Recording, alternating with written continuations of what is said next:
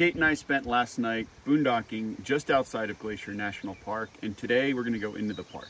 We're very excited because a lot of people have said this is their favorite national park, and we've never been. Parts of it are still closed, but we're going to see as much as we can.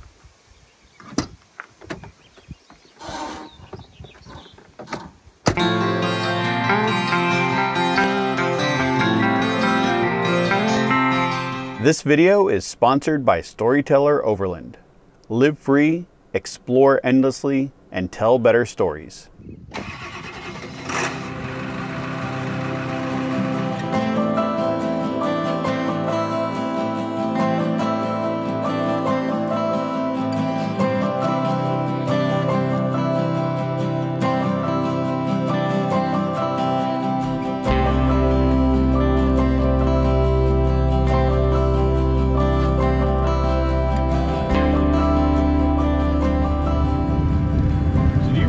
That was a bear you saw last night?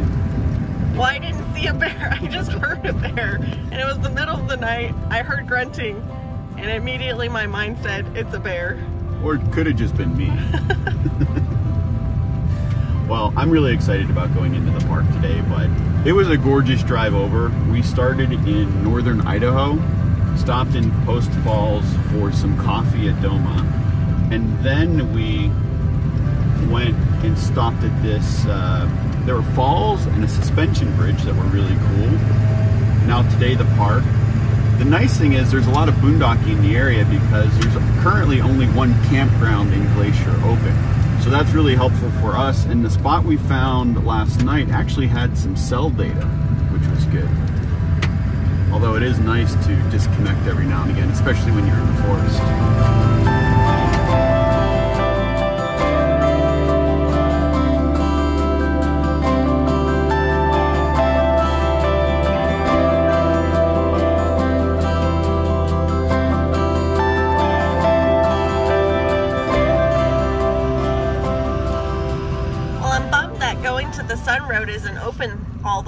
At least we can make it to the lodge. Yeah.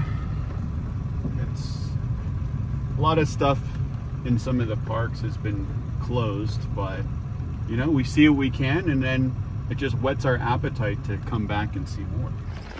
Okay. Got the lowdown. We've got some hikes we're gonna do. You have all the notes though. I do. We're going to do Avalanche Lake and uh, Trail of the Cedars Okay. and potentially see some bears. The ranger said there were a thousand bears in this ecosystem. Bring the bear spray. Make noise. Well, they said if we want to go, go now because um, going to the Sun Road is just open right now. Okay. And they've been closing it on and off. Let's get there. Okay. So we did get some more information from the ranger. Currently, all the campgrounds allow pop-up style campers. However, in the fall, especially around September timeframe, with all the berries and everything, there are two campgrounds in the park that may have restrictions on pop-ups because the bears will come into the campground, start picking the berries, and then they're like, oh, there's a soft-sided camper, and I know that I can tear through that and get the delicious food and people inside. So there are some restrictions, but for the most part, there aren't any. Uh, it's good to know, but we're going to be boondocking, so if those bears can find us, then we might be in trouble.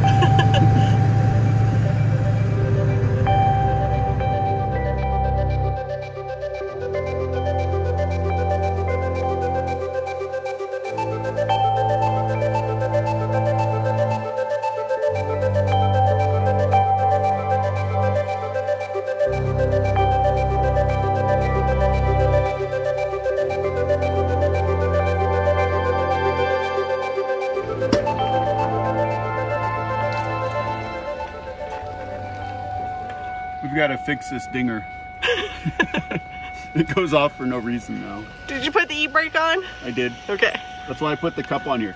So the light for the e-brake uh, stopped working, so I just put this cup on there so I know.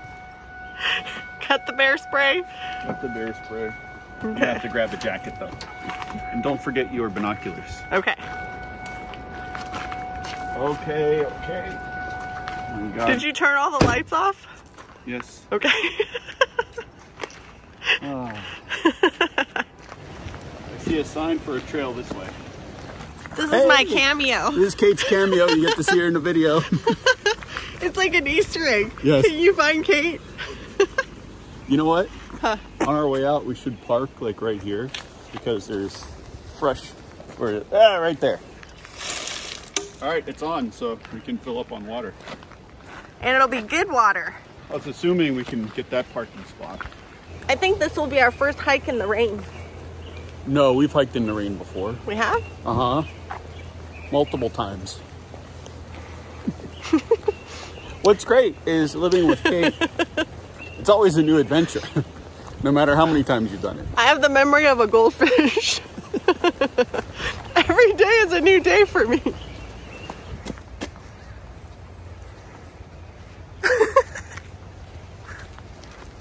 You make me laugh. Well, I was just wondering why there was a stop sign at a trail. Well, for bicyclists, maybe. It's kind of hard to believe that it's summer. Well, we're pretty far, far north. True.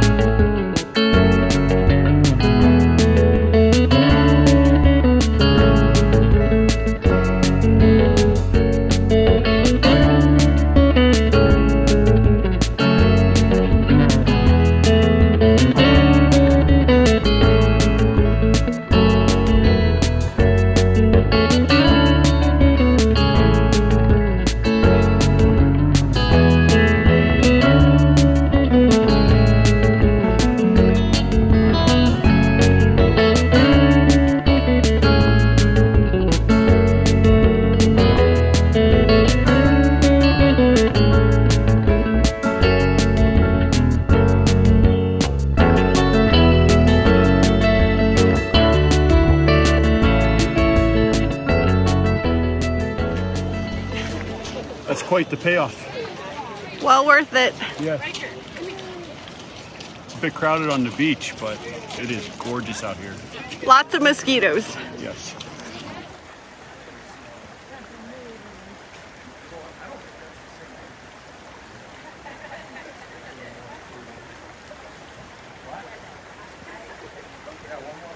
Well, my second ever bear sighting. It was a black bear. I've not yet seen a grizzly. But we were only, what, maybe like 25, 30 yards from it when we first saw it. It's pretty awesome. It's good size, too. Yep.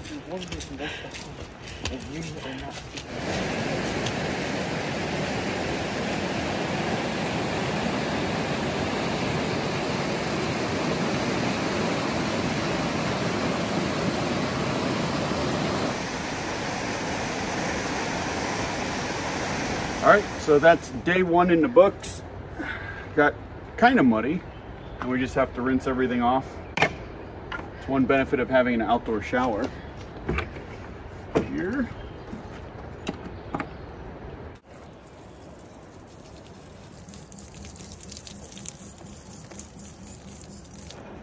So we're filling up the primary tank. We've got 20 gallons inside and plus six in the hot water heater.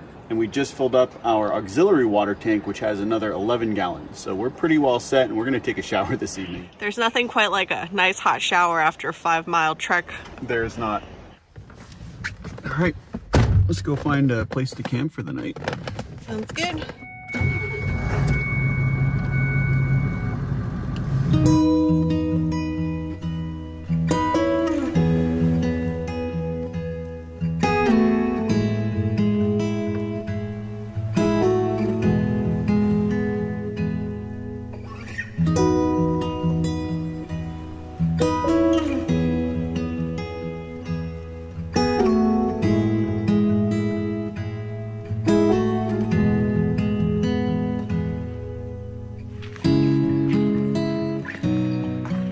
Found a pretty nice level spot for the night. It's still sunny out, but it's uh, what, like 8 p.m. right now? Mm-hmm.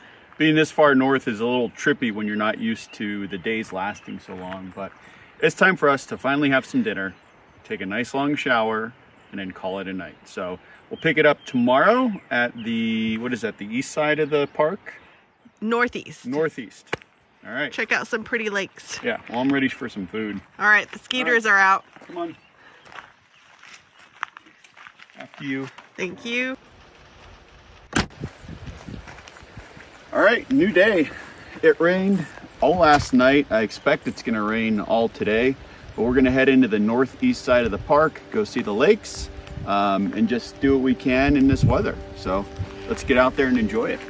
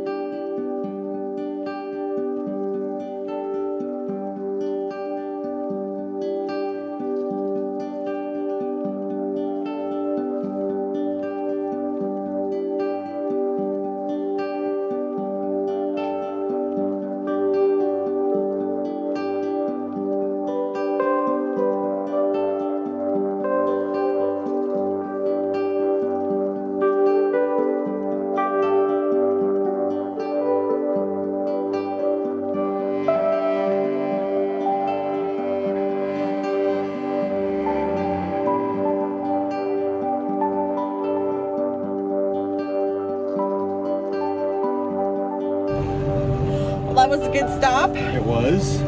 It smelled amazing. There was a 196 layer turnover. Um, we didn't get anything. We just wanted to go in there and check it out. But apparently, from what the ranger told us yesterday, we may not be able to get into the this side of the park today because the roads may be closed. We'll see. We'll find out momentarily. All right, well, onwards to the park. Yep.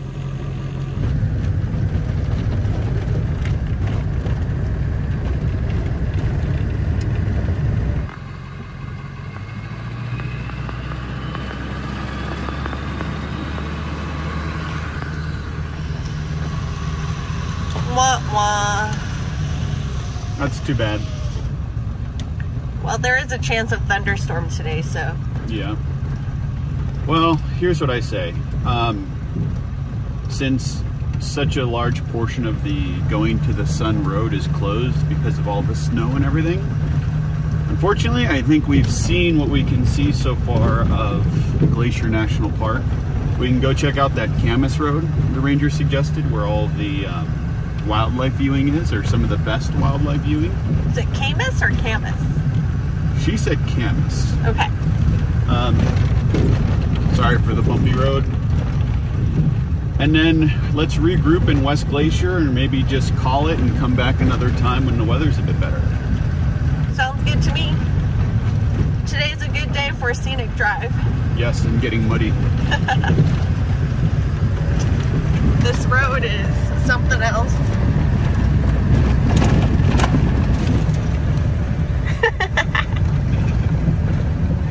that was a fun puddle. Doesn't matter who you are, that's fine.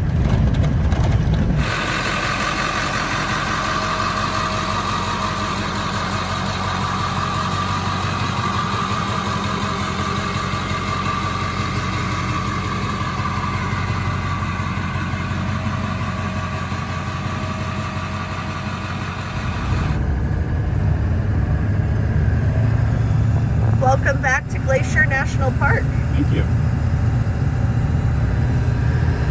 It's nice to be back on a paved road.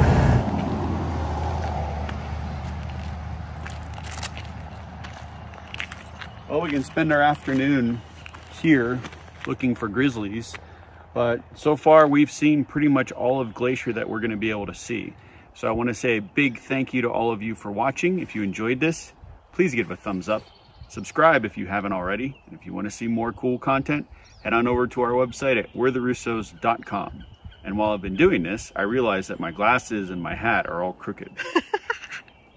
see you guys. This video was brought to you by Storyteller Overland, who has been working to inspire and equip their growing community of road trippers, van lifers, off-roaders, and overlanders with the proper gear, resources, and mindset to live free, explore endlessly, and tell better stories out on the road and beyond. Head over to storytelleroverland.com to learn more.